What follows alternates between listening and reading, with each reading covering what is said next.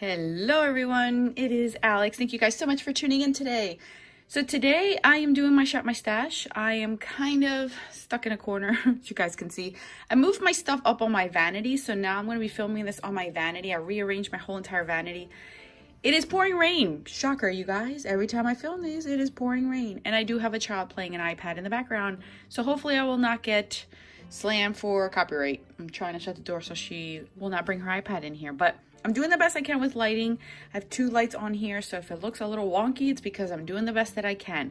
So today we're gonna go through this whole entire thing to show you guys what I went and what I used this month. If you're looking at this side over here, this is my everyday uh, stuff plus panning. So this is not gonna be touched. This is my shop, my stash section which I shared with you guys back in last year, about a year ago when I bought both of these. So if you're interested, stay tuned. So that's what we're gonna go through. We're gonna go through all this and then pick out some new items. Alrighty, you guys, you know the drill. Subscribe, like, comment, you know the drill. Let's get into it.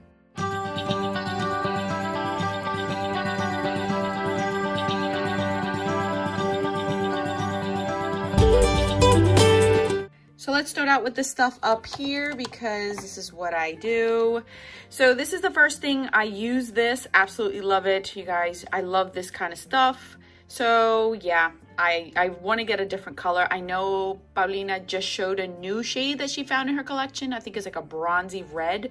Really want it because I love this formula. This is gorgeous. This, uh, the Touch in Sol in Adalio. This is gorgeous. Really like this, you guys. And it doesn't have to be as strong as you see it in the pot.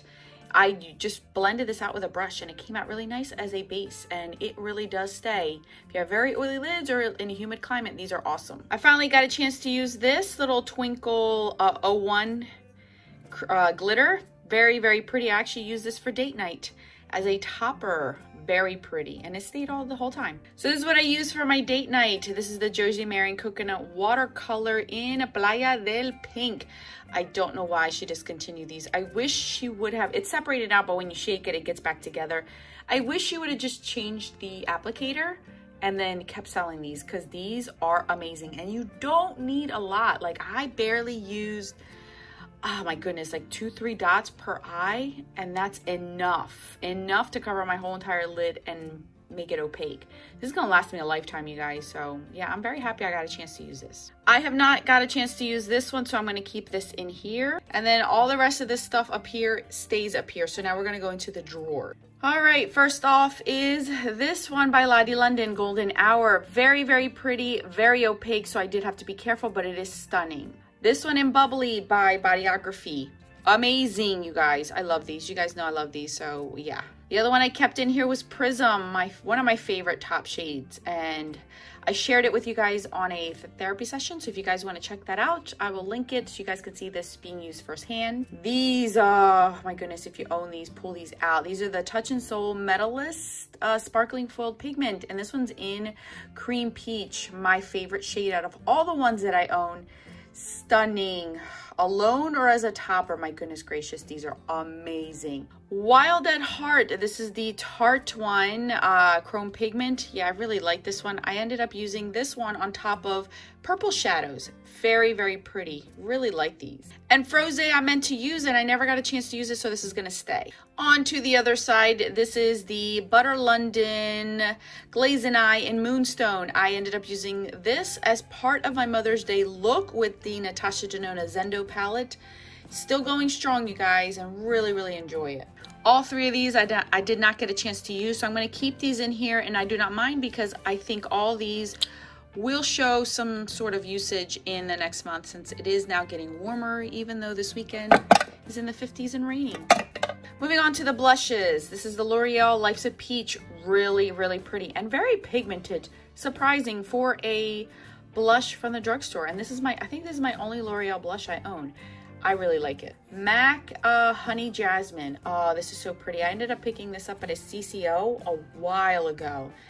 I didn't think I would like it as much, and you know what? I really, really like this one. Very, very pretty on the cheeks. This Laura uh, Mercier in Rose, you can see, look at that, how much I've used this. This I use for date night. Guys, I love how this looks on the cheeks. It gives you that nice glisten on the cheeks. dewy, beautiful look, but not wet and oily. I love it. You could see how much I've used of this.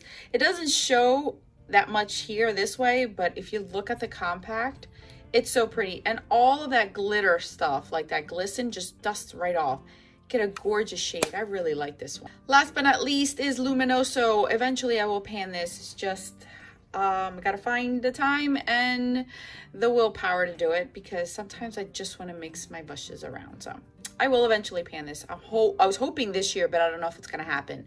But yeah, I'm still rotating and it still works fine. The original OG kind, you guys.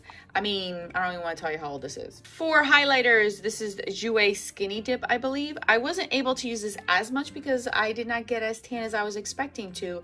But it is a pretty shade. I'll probably pull it back out again throughout the summer. This one, Pixi by Petra in Subtle Sunrise. This one I use for my date night as well. And you guys, I really like them. I really, really do. Reminds me how much good stuff I have in my collection. Fenty in Hustle, baby. Very pretty. I always forget how pretty this one is.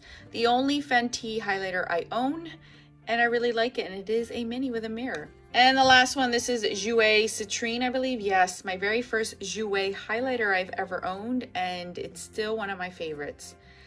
Use the crap out of this, as you guys can see. I really, really like Jouer powders. They are great.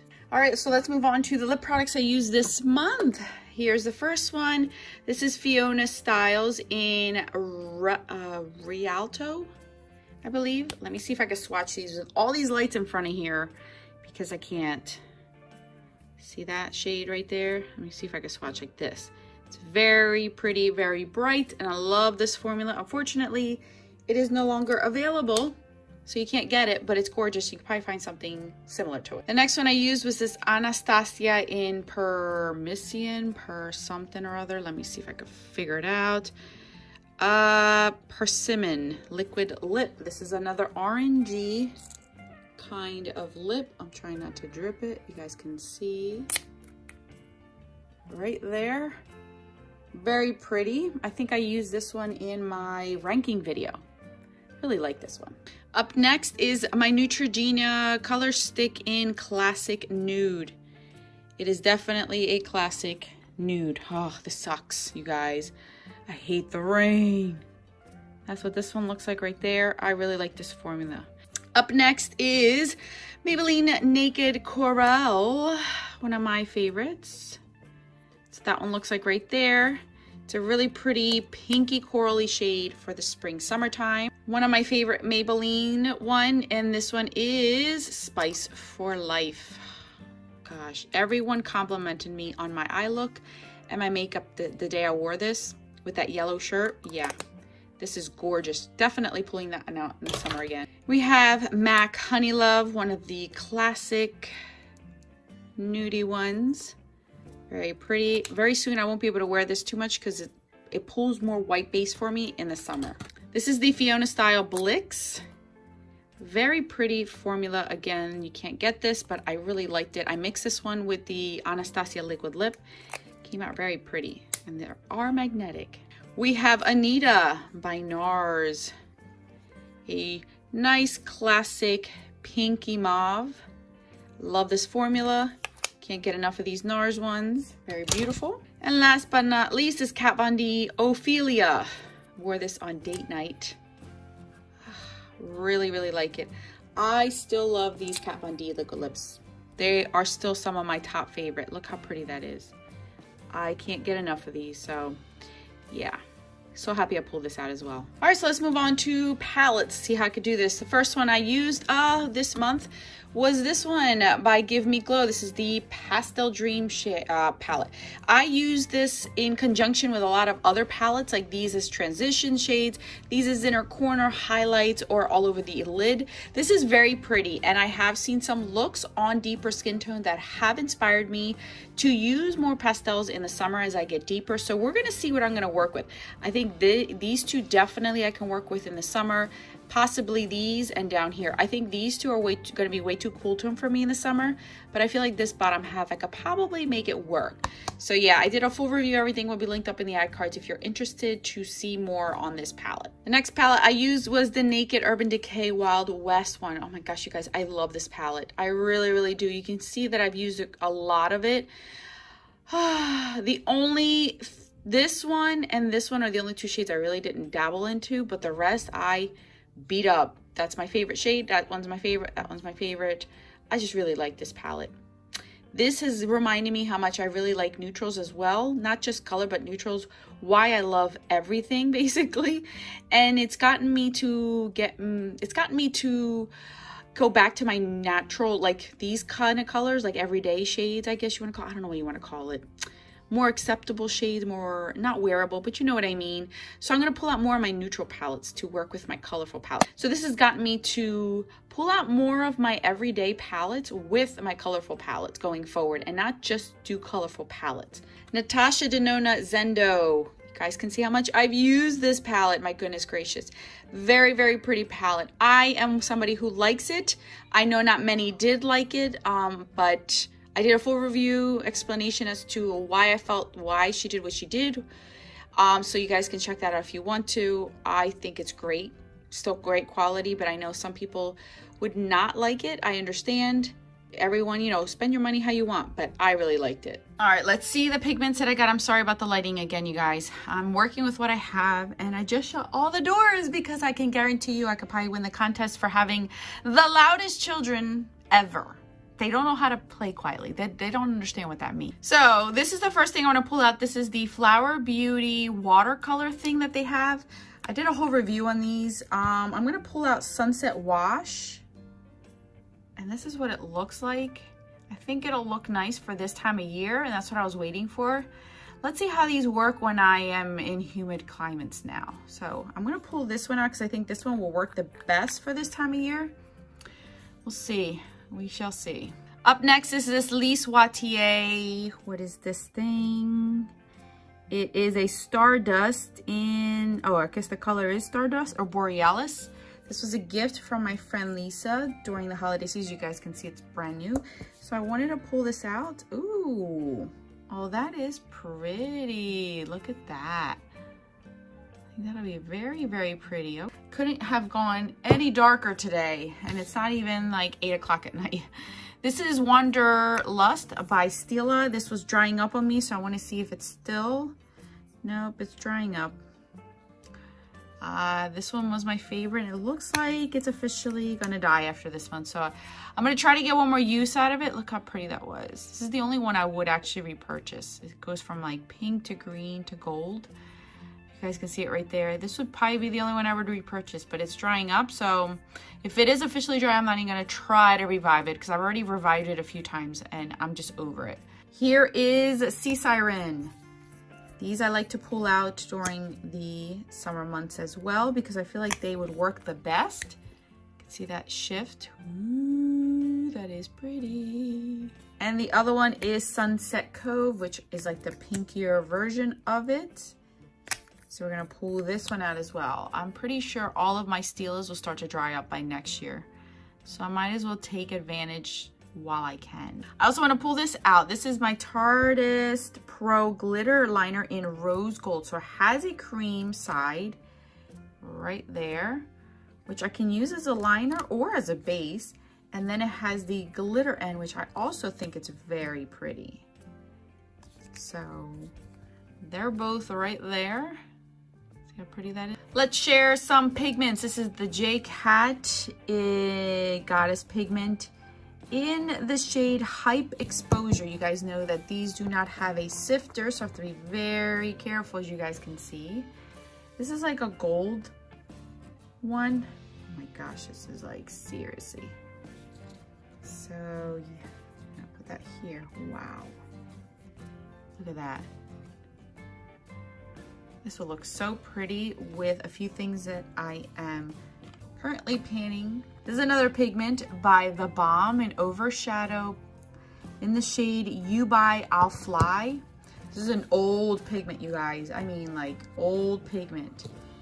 But I like it. that. See it right there? And it does have, like, a gold reflect to it in person. I don't know if you guys can see it on my finger, but it is pretty. The other one I want to pull out is Sydney Grace Comforting Light. This one is stunning. So I want to pull this out. Let me try not to get as much on my hand. You see it right there? Oh yeah. It's very, very pretty. So I figured why not pull this one out? All right, I'm replacing one of those Tarte Chrome paints with the shade Citrine. This is definitely one of my favorites for the summertime because it's like that burnt shade that I like to use.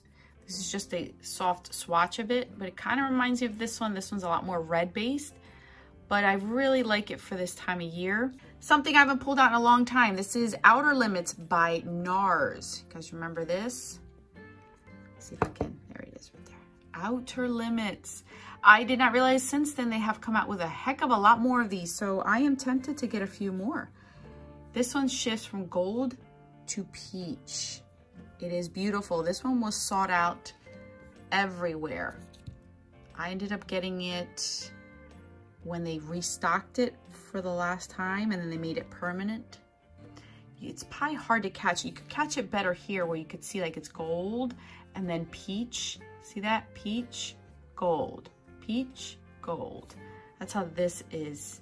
It's really, really pretty. Also something I haven't pulled out in a long time. These are MAC Press pigments and this is in Day Gleam. This is a nice topper. It's like a sheer topper. It's right there. I don't know if you guys can see it. It is pretty when you wet it. These are best when you wet them. I'll pull that out. And then the other one that everyone used to like is Blonde Streak. I think this was limited edition. And I believe I got this one at a CCO maybe. See that? Uh, let's put this right here. Again, these are best wet, so you might not be able to really see its impact.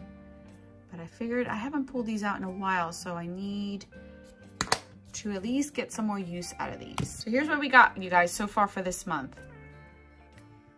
I know, I'm so sorry about the lighting, you guys. I am doing my best, but Mother Nature, every time I film these videos, never cooperates. All right, I've done the best that I could with the lighting that I have. I even turned on my bathroom light to help you guys out. All right, so I know I want a MAC blush this month. I think I'm gonna pull out MAC Sunbasque which I really like to pull out in the summer. So there's that one. Here's another one I want to pull out. This is NARS Liberté. So here's this one. It's a little bit darker, but it's like that rustic, red, burnt kind of shade. I really like this one. And I figured, I think it'll look really nice in summer. I want to pull out Becca Wild Honey. This is one of my favorites for the whole entire summer, basically. It's so pretty. Yep, so I'm gonna pull that out.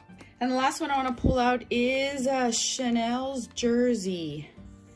I haven't really used this one as much as I've wanted to, so I'm gonna pull this one out as well. For highlighters, this is the highlighter I wanna pull out. This is Bodyography's Within something or other. From Within. So this one was a gift from my friend Lisa and I like to pull this out. Speaking of Becca Opal, in my uh, one of videos I made, I'm gonna pull out Champagne Pop because I haven't really pulled this one out in a while since I've been really enjoying Opal. I wanna do Champagne Pop this month. Nabla Insomnia. I haven't really played around with this one as much, so I wanna play with this one right there. Oh, this lighting is killing me. I don't know if you guys can see it right there. Last one that I want to pull out is Cookie by Benefit. This one's going to be in my face, but I still want it. So here are my four highlighters and the four blushes I want to pull out.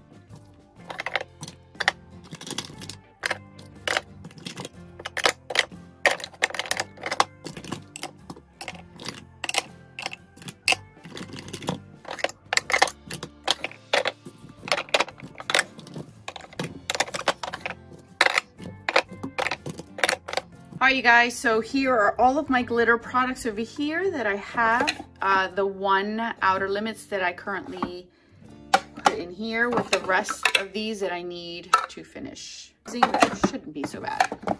And I have all of these pigments and pressed pigments. Should be fun. My highlighters, all nice and neat in here. And my blushes. As far as palettes for this month, you guys know I use my Pan Those eyeshadows, but I can show you three palettes that I'm going to try to use a ton to test out this month. So you guys at least can check those out in the future.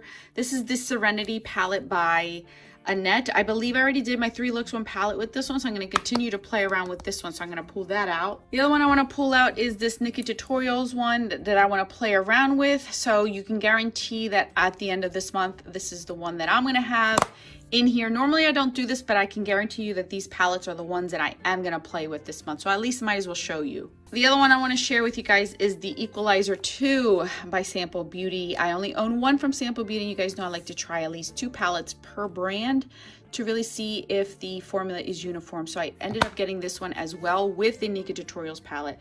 So this will be the other one that I will be using on top of anything else I pull out and my Pan Those eyeshadows. All right, you guys, that's it. Thank you guys so much for watching and bearing with me yet again another month with horrible lighting. Hopefully going forward, the days that I film these will not be rainy. And yes, I could have waited, but guess what? Yesterday it rained, tomorrow is gonna rain, so it doesn't matter when I did it, it's gonna rain. ah, it just kills me every time. All right, guys, I'll check you guys out in the videos on the screen. Until then, adios.